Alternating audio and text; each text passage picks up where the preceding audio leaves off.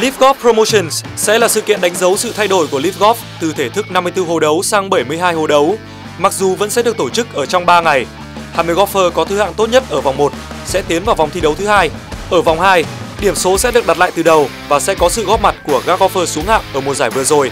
20 golfer dẫn đầu ở vòng 2 sẽ tiếp tục tiến vào ngày thi đấu cuối cùng, nơi mà điểm số một lần nữa được đặt lại và các golfer sẽ phải tranh tài qua 36 hồ đấu. Ba người có kết quả tốt nhất ở vòng đấu cuối cùng sẽ giành tấm vé tham dự mùa giải Leaf Golf 2024, một đặc quyền trong mơ và vô cùng cuốn hút với hầu hết các golfer chuyên nghiệp ở thời điểm hiện tại. Không cuốn hút sao được khi mà một golfer ít tên tuổi như Brandon Grace cũng đã kiếm được hơn 16 triệu đô la Mỹ ở ngay năm đầu tiên tham dự Leaf Golf, có số nhiều hơn những gì anh kiếm được trong 15 năm dòng dã khi còn thi đấu tại PGA Tour.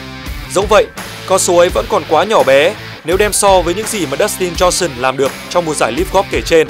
Với tư cách là nhà vô địch ở thể thức cá nhân lẫn đồng đội, Johnson thu về cho mình hơn 33 triệu đô la Mỹ, có số tưởng như không ai trong làng golf chuyên nghiệp có thể vượt qua nếu tính thu nhập ở trong một năm dương lịch.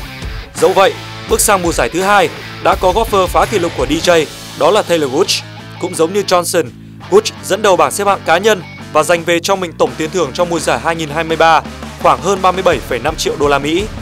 Nếu tính cả hai mùa giải Leaf Golf, Taylor Gooch cũng chính là người nắm giữ kỷ lục về số tiền thưởng với con số mà rất nhiều golfer chuyên nghiệp chưa bao giờ nghĩ tới ở trong cả sự nghiệp là 51 triệu 275 nghìn và 636 đô la Mỹ.